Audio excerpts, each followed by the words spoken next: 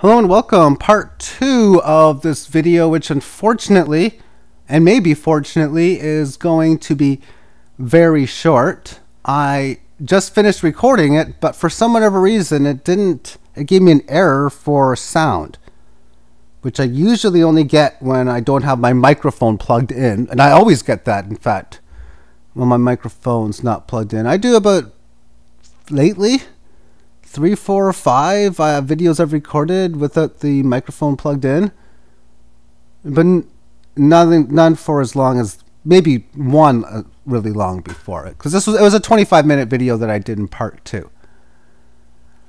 The the game on here is buying low, selling high. This example used VEN or VeChain against Binance and it worked out that the vast majority of the trades occurred in here. There hasn't been many trades amongst here because of all of this beautiful up and down choppy action that occurred amongst the first half. In fact, the second half amount of trades relatively boring. As far as how the results would work out towards, this is how it played. Ending with owning 245 coins, which is almost 150% more than the starting amount, and 50 base currency. And at one point it was up to 95. Starting off with the 60 that you had. So 10 more worked out very, very well. The play was working towards when you go longer in the game, you have the option to play for bigger stakes. Because you start off by selling 12, 14, 13, 16, 20. Then it was 25, 22, 40, 26, 25, 30, 25, oh, 50, 60, 25, 30. So that's one of the aspects within this game that's very common that you can notice that you're playing at those larger numbers because the trades just simply work within the mechanism. If you were to sell what we own right now, which would be 245 at 1772, the sale would make 43 base currency, which means 93.46 would be the value of such. Starting off at 60, but never really ever putting more than 30 in, really.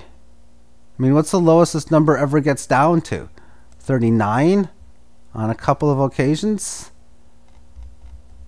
So you could even have said, yeah, I'm only going to start off with, say, 30 this way.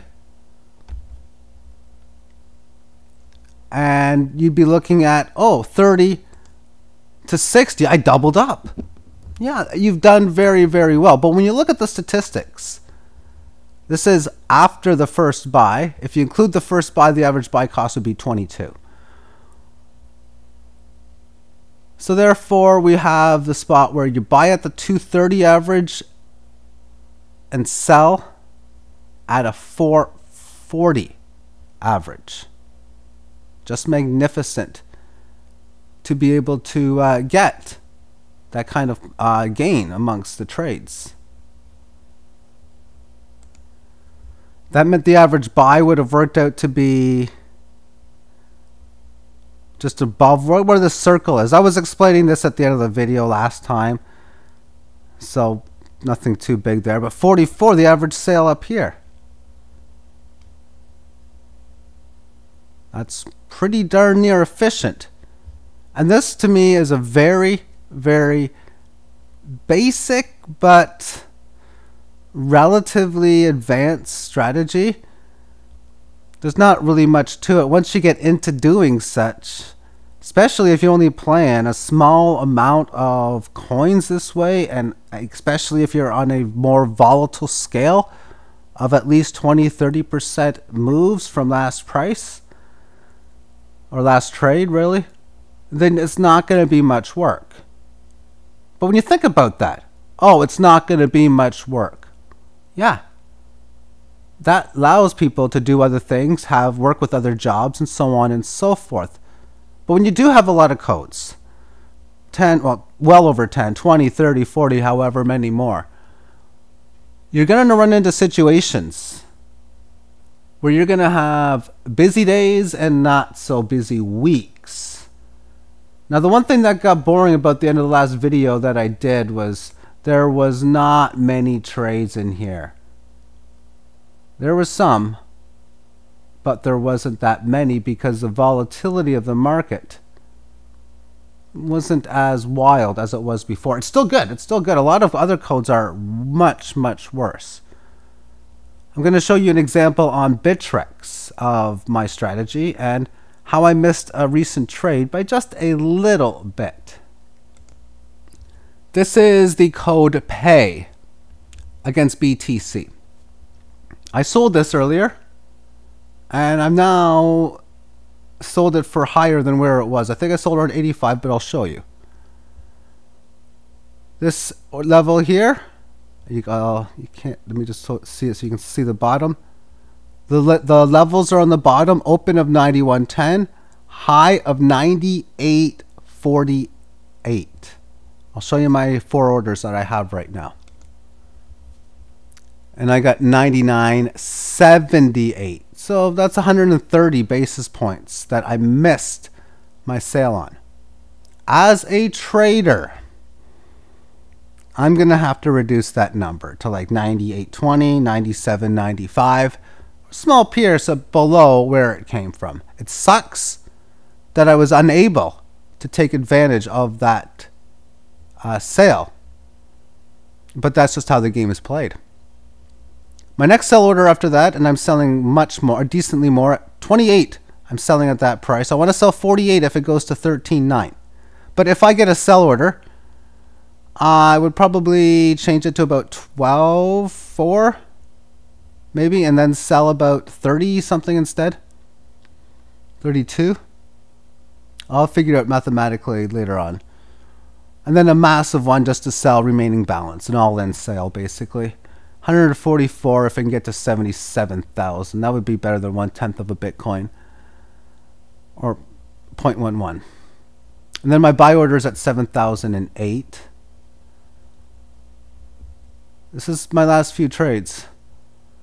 Buy at 11,000, buy 10,000, buy 91, buy 85, buy 76, and then I sold earlier today at 80, around 86.50. I'm no longer playing these decimal games anymore. I'm playing bigger volatile stakes than I was before. Just a little bit. I decided just to increase it a little bit, which is me instead of trading 11 and 12, I got the 28 in there. I sold everything for my last buy. Now we're in a bear market. So 7600 was where uh, the last buy was. The sell difference was over a thousand basis points, so that's about uh, 13, 14% on that trade. But I want to buy when if I'm in a bull market, I want to buy higher than my last buy. Neutral market around the same and bear market lower. So with 7600 being my last buy, I'm going to go 7008 buying 49 of them. And this one, this site here, I use it so that all codes are always worth about the same. So I'm using a mathematical calculator to make sure that it's net value because of the sale would be a good price. Now, normally, like I was saying in the videos, you want to sell lower than how much you made and and base currency, but more. Well, the 48.9 would cost me more than the 28. But because the price action would be a significant lower low, that's the reason why I'm doing so. And mathematically, for me to be worth the value I need to be here at, that's just what the number comes in at. So then, where does 7008 uh, play amongst the chart? Well, I know you can't see the numbers too well, but I probably, let me just go to daily chart. It would be a significant leg below here. So there's a spot where if this is a failed rally, I would expect it to break below this low and then but 10% below here is fine enough for me to get a buy, thus buying at a lower low. Thank you for tuning in and have yourself a great day. Bye-bye.